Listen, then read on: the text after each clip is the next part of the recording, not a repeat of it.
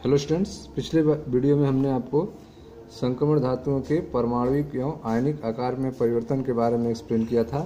आइए देखते हैं आयनन एंथैल्पी के बारे में। संक्रमण धातुओं के आयनन एंथैल्पी क्या होती है, इसको हम लोग समझते हैं। ठीक है? तो पहले आप देख लें चार्ट के रूप में आयनन एंथैल्पी यहाँ दिया गया है। इसके बारे में देख लेते हैं थोड़ा। यह आपका थ्री सीरीज़ है। ठीक है? थ्री सीरीज़ प्रथम प्रथम संक्रमण श्रेणी के तत्वों के इलेक्ट्रॉनिक विन्यास और कुछ अन्य गुण। ठीक है? इसमें आयन एंथैल्पी को देखें ध्यान से।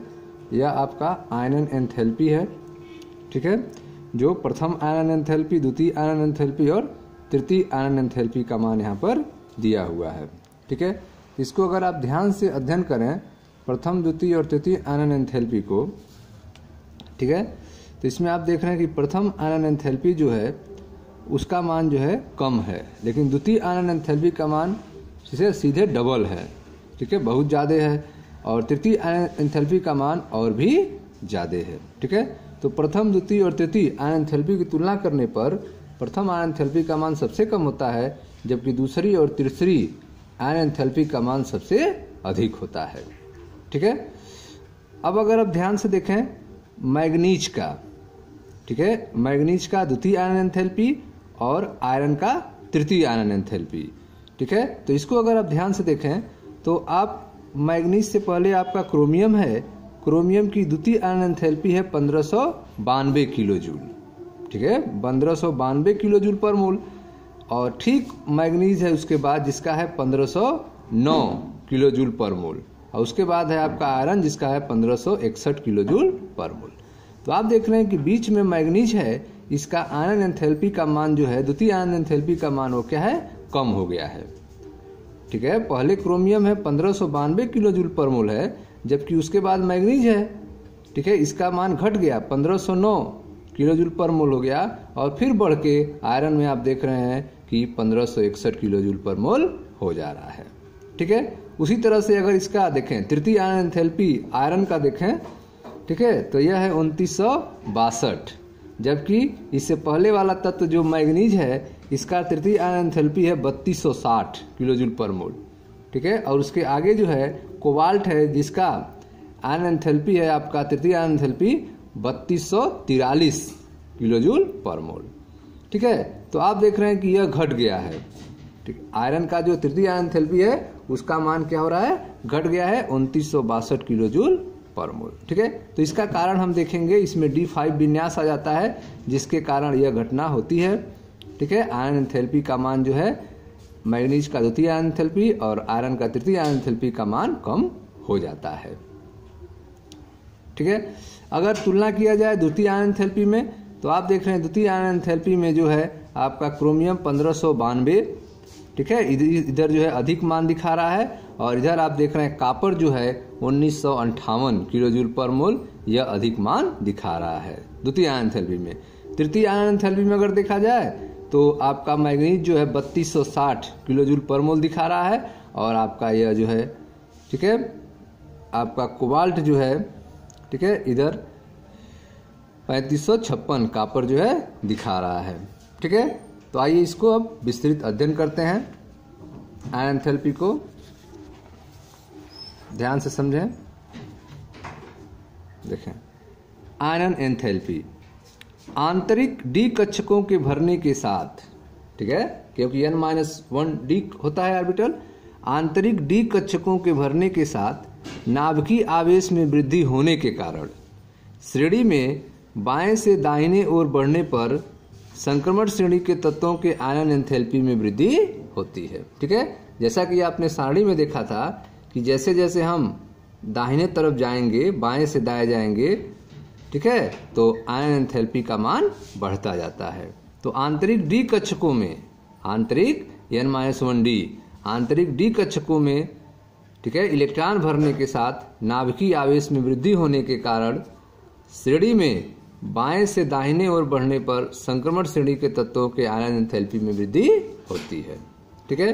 प्रथम संक्रमण श्रेणी के तत्वों की प्रथम तीन आयन एंथैल्पियों के मान दिए गए हैं, ठीक है?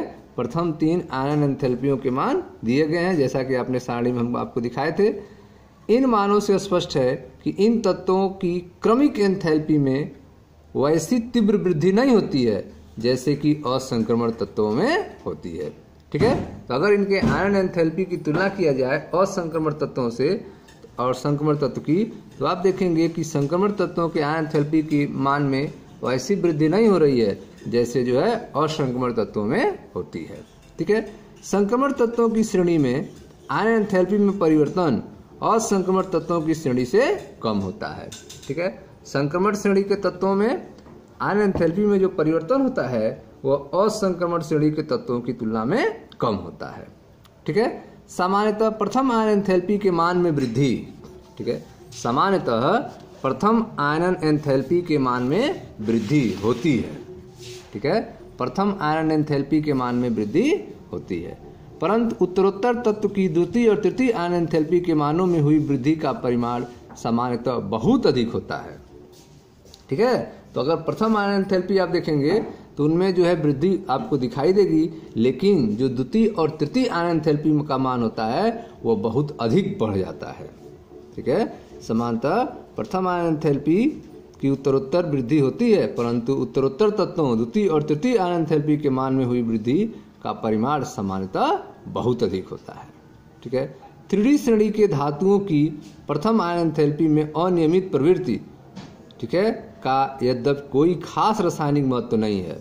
ठीक है? जो थ्री श्रेणी में धातुओं का जो प्रथम आयन एंथैल्पी है थ्री श्रेणी की धातुओं की प्रथम आयन एंथैल्पी की अनियमित प्रवृत्ति।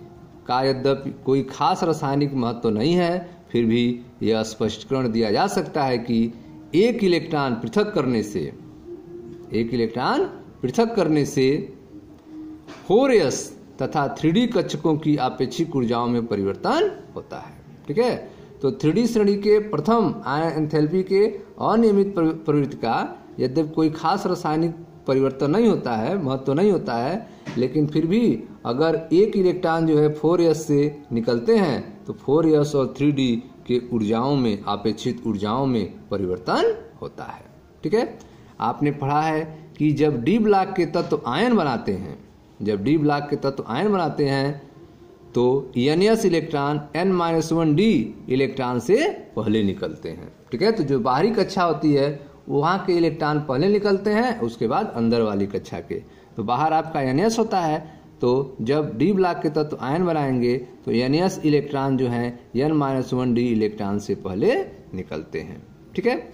हम जैसे जैसे थ्री श्रृंखला के आवर्त में बढ़ते हैं तो स्कैंडियम से जिंक की ओर जाने पर नाभिक का आवेश बढ़ता है। ठीक है? तो जैसे जैसे आप थ्री श्रृंखला के आवर्त में बढ़ेंगे, अर्थात स्कैंडियम 21 से जिंक 30 तक आप जाएँगे तो नाभिक का आवेश बढ़ता है, परंतु इलेक्ट्रॉन आंतरिक उपकोष के कक्षक, यानी थ्री कक्षक में जाते हैं। ठीक है? तो जो इलेक्ट्रॉन है, वो किसमें प्रवेश करते हैं? थ्री कक्षक में प्रवेश करते हैं, जो आंतरिक उपकोष होता है। ठीक है? यह three electron four S electron को बढ़ते हुए, ठीक है? बढ़ते हुए नाभिकीय आवेश से उस स्थिति के मुकाबले कुछ अधिक प्रभावी ढंग से परिचित कर सकते हैं, जिसमें बाह्य इलेक्ट्रॉन एक दूसरे को परिचित करते हैं। ठीक है? तो जब अंदर के इलेक्ट्रॉनों की संख्या बढ़ेगी तो जो बाहर के इलेक्ट्रॉन हैं, उनको परिचित कर देंगे, अंदर से वो घेर देंगे, जिससे बाहर उनको सुरक्षा मिलेगी। यह थ्री इलेक्ट्रॉन फोरस इलेक्ट्रॉन की अपेक्षा, ठीक है? यह थ्री इलेक्ट्रॉन फोरस इलेक्ट्रॉन को बढ़ते हुए नाभिक आवेश से उस स्थिति के मुकाबले कुछ अधिक प्रभावी ढंग से परिचित कर सकते हैं जिसमें बाह्य इलेक्ट्रॉन एक दूसरे को परिचित करते हैं। ठीक है? अतः परमाणु त्रिज्या कम तेज़ी से घटती है। परमाणु त्रिज्या जो है वह कम तेज़ी से घटती है, क्योंकि थ्री वाले जो हैं वह, ठीक है, परिचित प्रभाव दिखाते हैं, इसलिए परमाणु त्रिज्या जो है कम तेज़ी से घटती है। इसलिए थ्री श्रृंखला में इलेक्ट्रॉनिक ऊर्जा में मामूली वृद्धि होती है। ठीक है? थ्री श्रृंखला में इलेक्ट्रॉनिक ऊर्जा में मामूली वृद्धि होती है। दो या, ठीक है? दो या अधिक धन आवेश ठीक है? जो फोर एस है बाहरी कक्षा है, उसमें एक या दो इलेक्ट्रॉन होते हैं, अगर वह निकल जाए। दो मतलब खाली हो गया। दो से अधिक निकलेगा मतलब थ्री से इलेक्ट्रॉन निकलेगा अब। दो या अधिक धन आवेश वाले आयनों का विन्यास डीएन होता है, ठीक है? दो या अधिक धन आवेश वाले आयनों का विन्यास डीएन होता है, तथा फोर एस में इलेक्ट्रॉन नहीं होते हैं, ठीक है? सामान्यतः द्वितीय आयन एंथैल्पी के मान में, सामान्यतः द्वितीय आयन एंथैल्पी के मान में नाभिकीय आवेश में वृद्धि के साथ बढ़ने की प्रवृत्ति की अपेक्षा होती है, क्योंकि एक डी इलेक्ट्रॉन दूसरे डी इलेक्ट्रॉन को नाभिक के आवेश के प्रभाव से परिचित नहीं करता है। ठीक है? तो आप देख रहे हैं कि सामान्यतः द्वितीय आयन एंथैल्पी के मान में सामान्यतः द्वितीय आयन एंथैल्पी के मान में नाभिकीय आवेश में वृद्धि के साथ बढ़ने की प्रवृत्ति, ठीक है? नाभिकीय आवेश में वृद्धि के साथ बढ़ने की प्रवृत्ति की अपेक्षा होती है। क्यों होती है? क्योंकि एक डी इलेक्ट्रॉन दूसरे डी इलेक्ट्रॉन को नाभिक के आवेश के प्रभाव से परिचित नहीं करता है। इस कारण डी कक्षक की दिशा का भिन्न होना है। इसका कारण क्या है? क्यों ऐसा होता है? क्योंकि जो डी कक्षक होते हैं, उनकी दिशा क्या होती है? अलग अलग होती है, जिसके कारण ऐसा होता है। ठीक है? तो सामान्यतः द्वितीय आयन एंथैल्पी के मान में नाभिकीय आवेश में वृद्धि के साथ बढ़ने की प्रवृत्ति की अपेक्षा होती है। क्यों? क्योंकि एक डी इलेक्ट्रॉन दूसरे डी इलेक्ट्रॉन को नाभिक के आवेश के प्रभाव से परिचित नहीं करता है। इसका कारण कि डी कक्षों की दिशा का भिन्न होना है।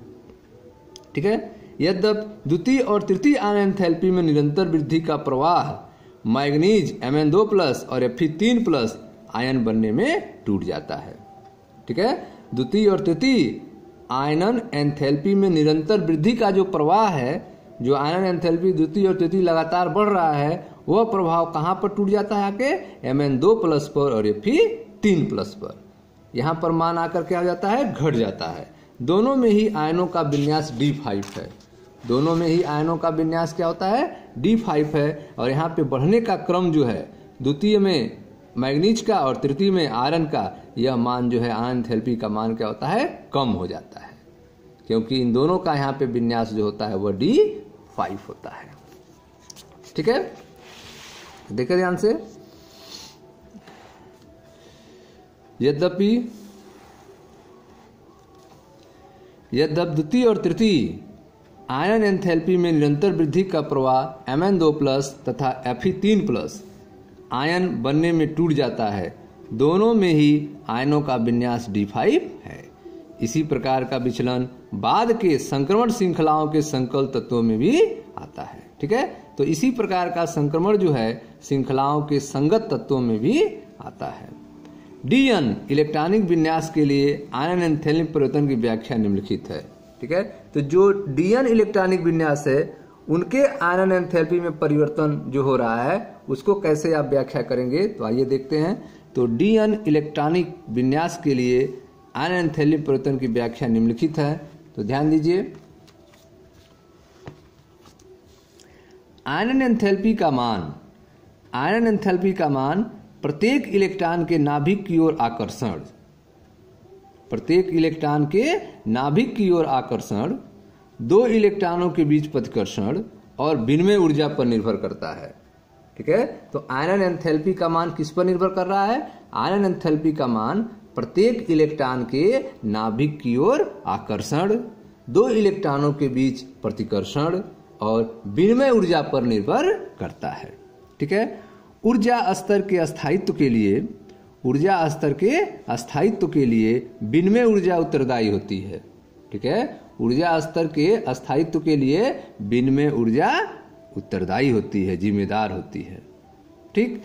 विनिमय ऊर्जा अपभ्रष्ट कक्षकों में समदिश प्रचक्रणों के कुल संभव युगलों के लगभग समानुपाती होती है। ठीक है? तो जो विनिमय ऊर्जा होती है वह अपभ्रष्ट कक्षकों के जो समदिश प्रचक्रण के इलेक्ट्रॉन है, जो एक दिशा वाले हैं, ठीक है? ठीक है? उनके कुल संभव युगलों के लगभग समानुपाती होती हैं। एक दिशा में घूमने वाले कितने इलेक्ट्रॉन हैं, उनके संभव युगलों के, ठीक है? उनके जोड़ों के लगभग यह विनिमय ऊर्जा समानुपाती होती है। और विनिमय ऊर्जा ही ऊर्जा स्तर के अस्थायित्व के लिए जिम्मेदार होती है। और विनिमय ऊर्जा पर आयरन एंथैल्पी निर्भर करता है। ठीक है? तो आयरन एंथैल्पी का मान जो है, प्रत्येक इलेक्ट्रॉन के नाभिक की ओर आकर्षण, दो इलेक्ट्रॉनों के बीच प्रतिकर्षण और विनिमय ऊर्जा पर निर्भर करता है, ठीक है? ऊर्जा स्तर के स्थायित्व के लिए विनिमय ऊर्जा उत्तरदायी होती है, जिम्मेदार होती है और विनिमय ऊर्जा अपभ्रष्ट कक्षकों में समदिश प्रचक्रणों के कुल संभव युगलों के लगभग समानुपाती होती है। जब अपभ्रष्ट कक्षकों में अनेक इलेक्ट्रॉन होते हैं तो निम्नतम ऊर्जा वाला स्तर वह होता है जिसमें अधिकतम कक्षकों में समदिश प्रचक्रण वाले एक एक इलेक्ट्रॉन होते हैं। ठीक है? यह हुंड के नियम के अनुसार ऐसा होता है। ठीक है? तो अगर जो है एक से अधिक इलेक्ट्रॉन होगा तो सबसे निम्नतम ऊर्जा वाला कौन होगा? जिसमें सभी इलेक्ट्रॉन जो हैं एक दिशा में गति करेंगे। है? समदिश इलेक्ट्रॉन अगर सब हो जाए, सब ऑर्बिटल में एक एक इलेक्ट्रॉन समान दिशा में हो जाए तो उसकी ऊर्जा जो होगी, वह न्यूनतम होगी। यह किसके अनुसार है? हुंड के अनुसार। तो जब अपभ्रष्ट कक्षकों में अनेक इलेक्ट्रॉन होते हैं तो निम्नतम ऊर्जा वाला स्तर वह होता है, जिसमें अधिकतम कक्षकों में समदिश प्रचक्रण वाले एक एक इलेक्ट्रॉन होते हैं। ठीक है? विनिमय ऊर्जा का हास होने से विनिमय ऊर्जा का हास होने से अस्थायित्व तो बढ़ता है। ठीक है? विनिमय ऊर्जा में अगर कमी होगी तो इससे अस्थायित्व तो बढ़ता है। विनिमय ऊर्जा के हास होने से अस्थायित्व तो बढ़ता है और अस्थायित्व तो बढ़ने से आयनन कठिन हो जाता है। तो अगर अस्थायित्व तो बढ़ेगा तो इससे क्या होगा? आयनन कठिन हो जाता है। डी सिक्स विन्यास में विनिमय ऊर्जा का हास नहीं होता है। ठीक है? तो जो डी सिक्स विन्यास है, उसमें विनय ऊर्जा की कमी नहीं होती है। ठीक है? आगे देखें ध्यान से। एम एन प्लस ठीक है? जो मैग्नीज पर एक धन आयन है। एम एन प्लस आयन का विन्यास three D five four S one और सी आर प्लस आयन का विन्यास डी फाइव है। ठीक है? एम एन प्लस आयन का विन्यास क्या है? Three D five four S one और सी आर प्लस आयन का विन्यास है डी फाइव अतः एम एन प्लस की एंथैल्पी सी आर प्लस से कम है। ठीक है ना? एम एन प्लस की एंथैल्पी सी आर प्लस से क्या है? कम है। इसकी एंथैल्पी अधिक होगी क्योंकि यह डी फाइव विन्यास पे है। सी आर प्लस क्या है? डी एफ़ फाइव विन्यास पे है। ठीक है? तो इसकी स्टेबिलिटी ज़्यादा होगी, इसलिए इसकी आयन एंथैल्पी अधिक होगी। ठीक है? जबकि एम एन प्लस की आयन एंथैल्पी क्या होगी? कम होगी। क्यों? क्योंकि इसका फोर एस वाला इलेक्ट्रॉन निकल जाएगा आसानी से। इसलिए एम एन प्लस की आयन थेल्पी कम होगी, जबकि सी आर प्लस की आयन थेल्पी अधिक होगी, क्योंकि इसमें डी फाइव विन्यास होता है। तो एम एन प्लस आयन का विन्यास three D five four S one और सी आर प्लस आयन का विन्यास डी फाइव है, अतः एम एन प्लस की एंथैल्पी सी आर प्लस से कम होती है। इसी प्रकार एम एन दो प्लस का विन्यास डी फाइव होगा। एम एन दो प्लस का विन्यास डी फाइव होगा, अतः एफ़ दो प्लस की एंथैल्पी एम एन दो प्लस से कम होती है। ठीक है ना? एफ़ दो प्लस की एंथैल्पी एम एन दो प्लस से कम होती है। ठीक है? दूसरे शब्दों में हम कह सकते हैं कि एफ़ की तृतीय आयन एंथैल्पी एम एन से कम होती है। ठीक है? एफ़ की जो तृतीय आयन एंथैल्पी होती है, वह एम एन से क्या होती है? कम होती है। इन धातुओं की निम्नतम आक्सीकरण अवस्था प्लस दो है। ठीक है? तो इन धातुओं की जो निम्नतम आक्सीकरण अवस्था है, वो कितनी होती है? प्लस दो होती है।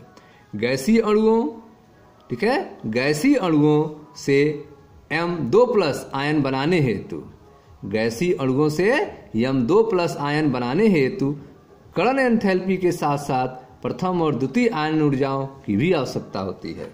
ठीक है? तो अगर गैसीय अणु है और उसके यम दो प्लस आयन बनाना है तो इसके लिए कड़न एंथैल्पी के साथ साथ प्रथम और द्वितीय आनंद ऊर्जाओं की भी आवश्यकता होती है। ठीक है? तो आप देख रहे हैं कि इन धातुओं की निम्नतम आक्सीकरण अवस्था जो है, वह प्लस दो होती है। इन धातुओं की निम्नतम आक्सीकरण अवस्था प्लस दो होती है। गैसी अणुओं से एम दो प्लस गैसी अणुओं से यम दो प्लस आयन बनाने हेतु कड़न एंथैल्पी के साथ साथ प्रथम और द्वितीय आयन ऊर्जाओं की भी आवश्यकता होती है। प्रमुख पद द्वितीय आनंद एंथैल्पी है। ठीक है? प्रमुख पद क्या है? द्वितीय आनंद एंथैल्पी है, जिसका मान क्रोमियम और कापर के लिए अप्रत्याशित रूप से उच्च होता है। ठीक है? प्रमुख पद जो है, वह द्वितीय आनंद एंथैल्पी है, जिसका मान क्रोमियम और कापर के लिए अप्रत्याशित रूप से उच्च होता है, अधिक होता है। ठीक है? जिनमें यम प्लस आयनों का क्रमशः ठीक है? जिनमें यम प्लस आयनों का क्रमशः डी फाइव और डी टेन विन्यास होता है। ठीक है ना? तो इसमें आप क्रोमियम में डी फाइव विन्यास होता है और कापर में डी टेन विन्यास होता है, जिसके कारण इनका द्वितीय आयन एंथैल्पी का मान क्या होता है? अप्रत्याशित रूप से उच्च होता है, अधिक होता है। ठीक है? तो प्रमुख पद द्वितीय आयन एंथैल्पी है जिसका मान सी आर और सी यू के लिए अप्रत्याशित रूप से उच्च होता है, जिनमें यम प्लस आयनों का क्रमशः डी फाइव और डी टेन विन्यास होता है। ठीक है? जिंक के लिए संगत मान कम होता है। जडियन के लिए संगत मान क्या होता है? कम होता है। क्यों? क्योंकि आयनन हेतु एक वनयस इलेक्ट्रॉन निकलता है, जिससे अस्थाई डी टेन विन्यास प्राप्त होता है। ठीक है? तो जिंक के लिए आप देख रहे हैं, संगत मान जो है कम होता है, क्योंकि आयनन हेतु वन एस इलेक्ट्रॉन निकलता है, जिससे अस्थाई डी टेन विन्यास प्राप्त होता है। तृतीय आयन एंथैल्पी में प्रवृत्ति फोर एस कक्षक के कारक द्वारा जटिल नहीं बनती। ठीक है? जो तृतीय आयन एंथैल्पी है, तृतीय आयन एंथैल्पी में प्रवृत्ति फोर एस कक्षक के कारक द्वारा जटिल नहीं बनती, और डी फाइव एम एन दो प्लस में तथा डी टेन जेड एन दो प्लस में एक इलेक्ट्रॉन हटाने से अधिक कठिनाई प्रदर्शित होती है। ठीक है ना? तो अगर एक इलेक्ट्रॉन आपको निकालना है तो अधिक कठिनाई प्रदर्शित होगी। कब? जब इलेक्ट्रॉन डी फाइव हो एम एन दो प्लस में, और जेड एन दो प्लस में डी टेन हो, तब इलेक्ट्रॉन निकालना आपको कठिनाई प्रतीत होगा। ठीक है? लेकिन अगर फोर एस से इलेक्ट्रॉन निकालना है तो वह जटिल नहीं होगा। तृतीय आयन एंथैल्पी में प्रवृत्ति फोर एस कक्षक के कारक द्वारा जटिल नहीं बनती और डी फाइव और डी टेन में एक इलेक्ट्रॉन हटाने से अधिक कठिनाई प्रदर्शित होती है। सामान्यतः तृतीय आयन एंथैल्पी पर्याप्त उच्च होती है। जो तृतीय आयन एंथैल्पी होती है, उसका मान क्या होता है? बहुत अधिक होता है। कापर, जिंक और निकल का तृतीय आयन एंथैल्पी के उच्च मान, ठीक है? कापर, जिंक और निकल के जो तृतीय आयन एंथैल्पी होते हैं, उनका मान क्या होता है? उच्च होता है, बहुत अधिक होता है। कापर, जिंक और निकल के तृतीय आयन एंथैल्पी के उच्च मान इंगित करते हैं कि क्यों इन तत्वों की प्लस दो से उच्च ऑक्सीकरण अवस्था प्राप्त करना कठिन है। ठीक है ना? तो कापर, जिंक और निकिल के आयन एंथैल्पी तृतीय आयन एंथैल्पी का मान अधिक होता है, इसीलिए जो है इन तत्वों के प्लस दो से उच्च ऑक्सीकरण अवस्था प्राप्त करना कठिन होता है। ठीक है? कापर जिंक और निकल की, प्लस दो से अधिक उच्च ऑक्सीकरण अवस्था प्राप्त नहीं किया जा सकता है। क्यों? क्योंकि इनकी तृतीय आयन थेरेपी का मान बहुत अधिक होता है, इसलिए ऐसा होता है। यद्यपि आयन एंथैल्पियों ऑक्सीकरण अवस्थाओं के तुलनात्मक अस्थायित्व से संबंधित कुछ मार्गदर्शन देती है। ठीक है? यद्यप आयन एंथैल्पियाँ ऑक्सीकरण अवस्थाओं के तुलनात्मक अस्थायित्व से संबंधित कुछ मार्गदर्शन देती है, फिर भी यह समस्या बहुत जटिल है और तात्कालिक व्यापीकरण हेतु संशोधनीय नहीं है। ठीक है ना? तो आप देख रहे हैं, यद्यप आयनन एंथैल्पियाँ जो हैं, वे ऑक्सीकरण अवस्था के तुलनात्मक अस्थायित्व से संबंधित कुछ मार्गदर्शन देती हैं, फिर भी यह समस्या बहुत जटिल है और तत्कालिक व्यापीकरण हेतु संशोधनीय नहीं है। ठीक है स्टूडेंट्स यह था आपका डी ब्लॉक के तत्वों के, ठीक है आयनन एंथैल्पी के बारे में। डी ब्लॉक तत्वों के आयनन एंथैल्पी के बारे में हमने आपसे चर्चा किया। नेक्स्ट वीडियो में हम अब डी ब्लॉक तत्वों के ऑक्सीकरण अवस्था के बारे में चर्चा करेंगे। Thank you